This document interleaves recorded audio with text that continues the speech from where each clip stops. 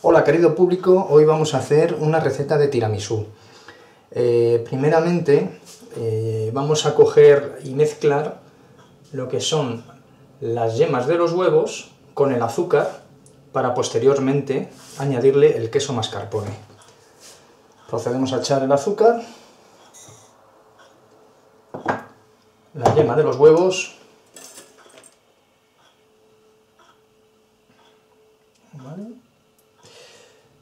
Bien, perfecto. Vamos a empezar a batirlo.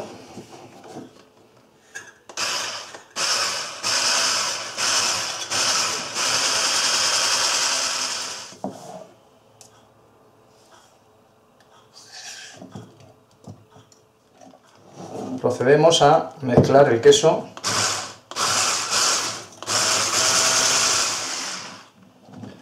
Bien, ya vemos que lo tenemos hecho una crema y ahora lo que tenemos que pasar es a montar las claras, hacerlas en punto de nieve para agregarlas a la, crema que tenemos preparada del mascarpone. Bien, una vez agregadas las claras en punto de nieve, procedemos a mezclarlo con la crema de mascarpone que teníamos hecha. Bien, ahora vamos a comenzar a poner los bizcochos de soletilla en el fondo para hacer una primera base del tiramisú. Esta es la primera capa de bizcochos, los vamos a emborrachar con el café al cual le hemos añadido un chorrito de coñac o se le puede añadir un chorrito de whisky o si no nos gusta el alcohol dejar solamente el café y lo que hacemos es echar una capa de mascarpone encima. Eso es, que cubra bien. Perfecto. vamos a seguir poniendo el bizcocho de soletilla. Perfecto. Aquí ponemos ponemos otra capita.